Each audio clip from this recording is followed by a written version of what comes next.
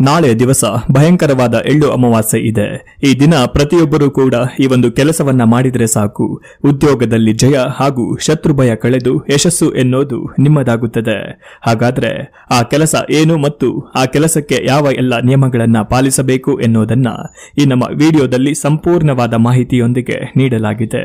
ವಿಡಿಯೋವನ್ನ ಪೂರ್ತಿಯಾಗಿ ನೋಡಿ. ಹಿಂದೂ ಪುರಾಣದಲ್ಲಿ ಅಮಾವಾಸ್ಯೆಯ ದಿನಕ್ಕೆ ಬಹಳ ವಿಶೇಷವಾದ ಸ್ಥಾನವಿದೆ. ಈ ದಿನ ಮಾಡುವ ಪೂಜೆಗಳಿಗೆ ವಿಶೇಷವಾದ ಶಕ್ತಿ ಇರುತ್ತದೆ ಮತ್ತು ವಿಶೇಷವಾದ ಫಲಗಳನ್ನು ಕೂಡ ಪಡೆಯುತ್ತೇವೆ. ಇನ್ನು ಈ ದಿನ ಯಾರಿಗೂ ಹಣವನ್ನ ನೀಡಲೇಬಾರದು. ಯಾವ ಹೊಸ ವಸ್ತುಗಳನ್ನು ಕೂಡ ಖರೀದಿ ಸಹ ಮಾಡಬಾರದು.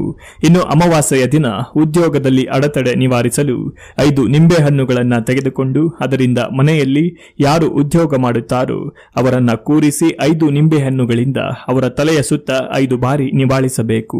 ಹೀಗೆ ನಿವಾಳಿಸಿದ ಐದು ನಿಂಬೆ ಹಣ್ಣುಗಳನ್ನು ತೆಗೆದುಕೊಂಡು ಹೋಗಿ ಮೂರು ದಾರಿ ಕೂಡುವ ಸ್ಥಳದಲ್ಲಿ ಹೊಡೆದು ಹಿಂತಿರುಗಿ ನೋಡದೆ ಬಂದು ಮನೆಯಲ್ಲಿ ಕೈಕಾಲು ತೊಳೆದು ಮನೆ ದೇವರಿಗೆ ದೀಪವನ್ನ ಹಚ್ಚಬೇಕು. ಹೀಗೆ ಮಾಡುವುದರಿಂದ ಉದ್ಯೋಗದಲ್ಲಿನ ಅಡೆತಡೆಗಳು ಕಳೆದು ಬಡ್ತಿ ಎನ್ನುವುದು ದೊರೆಯುತ್ತದೆ. ಮಾಟ, ಮಂತ್ರ, ದುಷ್ಟಶಕ್ತಿ ದೃಷ್ಟಿಗಳು ಸಹ ಕಳೆದು ಹೋಗುತ್ತವೆ. ಶತ್ರು ಭಯ ದೂರವಾಗಿ ಮನಸ್ಸಿಗೆ ಧೈರ್ಯ ಎನ್ನುವುದು ಬರುತ್ತದೆ.